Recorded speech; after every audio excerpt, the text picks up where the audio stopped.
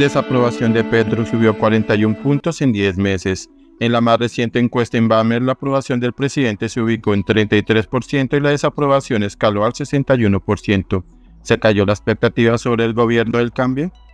En tan solo 10 meses de gobierno, la desaprobación del presidente Gustavo Petro tuvo un marcado ascenso desde el 20% que había registrado en agosto de 2022 cuando llegó al poder hasta el 61% para junio de este año, una subida de 41 puntos porcentuales que muestra cómo su desaprobación avanzó más que la misma aprobación. La aprobación del mandatario cayó 23 puntos. El mandatario pasó a iniciar su gestión con una aprobación del 56% en agosto de 2022 y en medio de la alta expectativa por el cambio prometido a que en la más reciente encuesta en Bamer que se conoció este miércoles ese nivel cayera hasta el 33%. La desaprobación se ha mantenido en alza en estos 10 meses y si bien la subida más pronunciada se registró en el segundo semestre de su administración, el aumento de la percepción negativa de la gente sobre el jefe de Estado ha sido una constante que ha acompañado al gobierno del cambio. Las estadísticas dejan ver una caída pronunciada en la imagen del primer presidente progresista de Colombia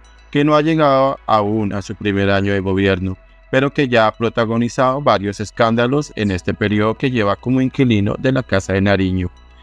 En el catálogo de polémicas están la salida de su jefa de despacho, Laura Sarabia, por el presunto uso irregular del polígrafo de Palacio y el robo de un maletín con dinero en su residencia, además de la presunta financiación irregular a su campaña, hecho que quedó evidenciado en los audios en los que el embajador Armando Benedetti habló de unos supuestos 15 mil millones de pesos para el pacto histórico en 2022.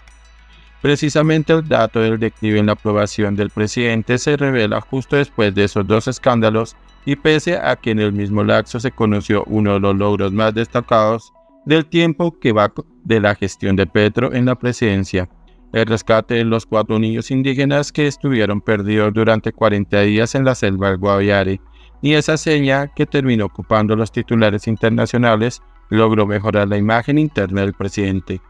El director de Inbamer, Martín Orozco, explica que esos números permiten hablar de que 20 de cada 100 colombianos que aprobaban su gestión al inicio o que estaban a la expectativa ya no lo aprueban, y detalla que esas personas están migrando a la desaprobación en casi todos los casos se está dando un deterioro muy rápido en la expectativa que tenía la gente. Si sumamos aprobación y la desaprobación de agosto de 2022, faltaban 24 puntos porcentuales para el 100%, o sea que había gente a la expectativa, pero ahora solo restan 6 puntos porcentuales para que se llegue al 100. Quienes aprobaban al presidente han migrado a la desaprobación, explica Orozco. Los resultados de San Questin Bamer corresponden a un estudio que hace esa firma con recursos propios y no con la financiación de algún medio de comunicación en particular, y los datos fueron recabados entre el 16 y el 24 de junio, justo cuando la oposición convocó a marchas contra el gobierno y el jefe de Estado estuvo de gira en Francia, donde se perdió de los reflectores de los medios durante dos días.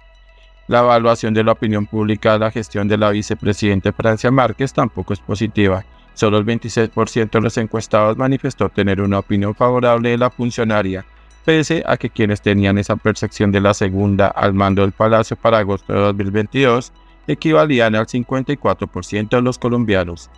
En número, la imagen positiva de Francia retrocedió 28 puntos porcentuales. Por el contrario, la opinión desfavorable sobre la vicepresidente se situó en el 52% para junio, un ascenso de 34 puntos porcentuales desde el 18% que marcaba en ese indicador para hace 10 meses que dejan ver que la base de apoyos a la también ministra de la Igualdad ha retrocedido. Ante la pregunta, ¿cree usted que las cosas en Colombia están mejorando o empeorando? Solo el 19% de los encuestados señaló tener confianza de que la situación del país mejora, contrario al 33% que lo manifestaba así para agosto de 2022, mientras que el 70% expresó que la realidad del país está empeorando en contraste con el 48% del 2022. Ese indicador muestra que el pesimismo se ha acentuado en la opinión pública a pesar de las expectativas del suscito al autodenominado gobierno del cambio.